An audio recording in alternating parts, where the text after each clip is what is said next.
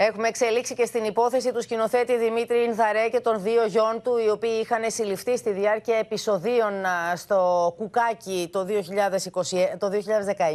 Πάμε στο Γιάννη Ρίγο που έχει περισσότερα, γιατί κρίθηκαν αθώοι, Γιάννη.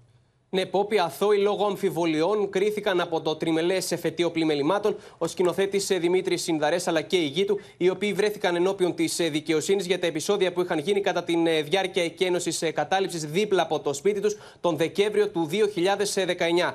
Τότε ο γνωστός σκηνοθέτης αλλά και η γη του είχαν συλληφθεί, καθώς σύμφωνα με το κατηγορητήριο που συντάχθηκε εναντίον τους, έβριζαν και εμπόδιζαν τις αστυνομικές δυνάμεις να συλλάβουν τους καταληψίες. Τώρα από την πλευρά της η οικογένεια Ινδαρέ ισχυρίστηκε ότι οι αστυνομικοί μπήκαν με τη βία μέσα στο σπίτι τους, τους ξυλοκόπησαν και στην συνέχεια τους ε, συνέλαβαν. Τώρα, η εισαγγελέας ε, της ε, έδρας είχε προτείνει να κηρυχθούν αθώοι κατηγορούμενοι, αφού δεν προέκυψε ότι τέλεσαν τα αδικήματα για τα οποία κατηγορούνταν. Μάλιστα. Ο εισαγγελέας μίλησε μάλιστα για βάρβαρη στάση τη αστυνομία. Να σε ευχαριστήσουμε πάρα πολύ.